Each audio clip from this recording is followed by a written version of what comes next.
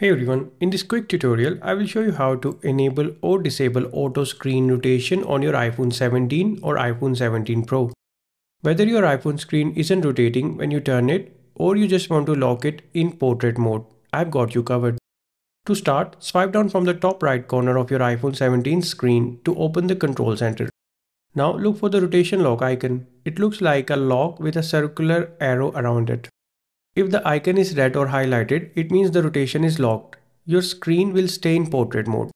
If the icon is grey, rotation is unlocked and your iPhone will automatically rotate between portrait and landscape when you turn it.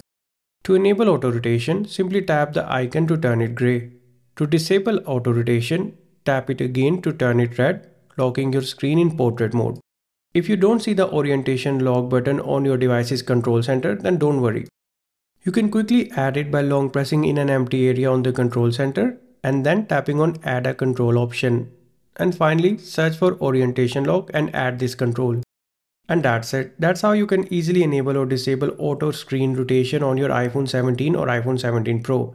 If you found this video helpful, don't forget to hit the like button, subscribe to our channel and hit the bell icon for more iPhone tips and tutorials. Thanks for watching.